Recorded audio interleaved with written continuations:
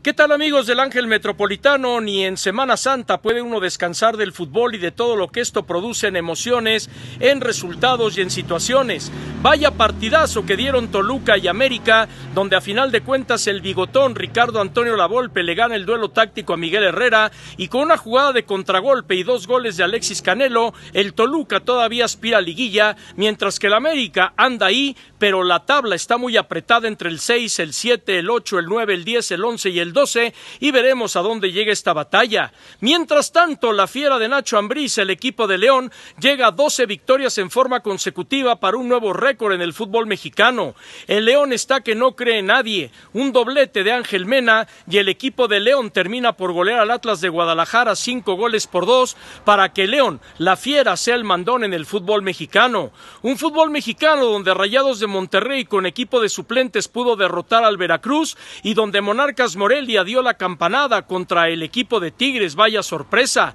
Y si de sorpresas hablamos, Lobos Buap derrotó al equipo de Cholos Tijuana y con ello Lobos está aspirando a la liguilla. Guadalajara Guadalajara no las canta ni con Tomás Boy. Guadalajara ganaba y terminó perdiendo frente al Puebla tres goles por uno y el efecto Chelis está funcionando en los poblanos y el Guadalajara todo se cierra en la dramática y patética declaración de Jesús Molina todos nos debemos de ir, nadie merece vestir la camiseta del Guadalajara por cómo han estado jugando. Y la máquina celeste de Cruz Azul en el partido 600 de José de Jesús Corona en el fútbol profesional demostró que el bache ya es historia del pasado y Cruz Azul derrotó a los Pumas de la Universidad dos goles por uno, unos Pumas que están hundidos en la mediocridad y unos Pumas donde una vez más el directivo Rodrigo Ares de Parga realizó tremendo berrinche y un berrinche que no va con la altura. ¿Y qué me dice usted en el fútbol internacional de Cristiano Ronaldo?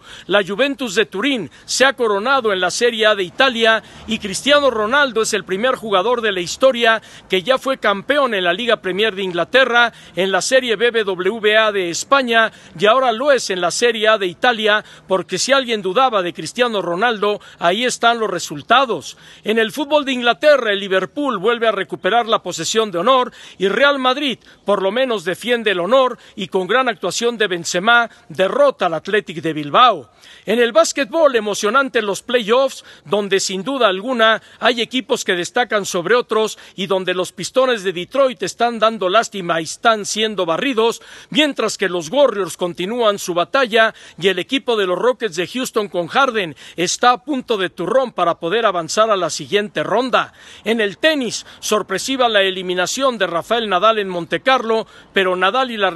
continúan afectándole todavía bastante y en el béisbol de las grandes ligas, gran actuación del teenager mexicano Julio César Urias que gana con una pelota valiente el partido para los Dodgers de Los Ángeles. Un abrazo virtual a través del Ángel Metropolitano.